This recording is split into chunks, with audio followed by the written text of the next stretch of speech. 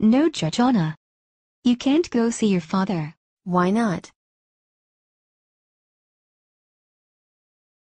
Because he's dead. MIA. Missing in action. I wanted to tell you, but I couldn't. I'm sorry.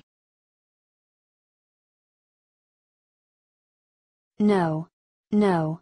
It's all too real. This can't be happening.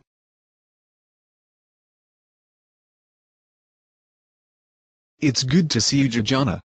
Let's get to class before we're late. Okay. But we have to run. The bell just rang.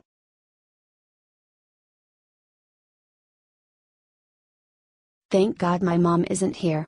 Our daughter is safe. Yes. So true. We can at last be a family together. Georgiana, you are so grounded. Run Amelia. I'm on it, Mommy. Run and never come back. We'll come find you. Just run as far as you can. Where is father? He, he, he, he died.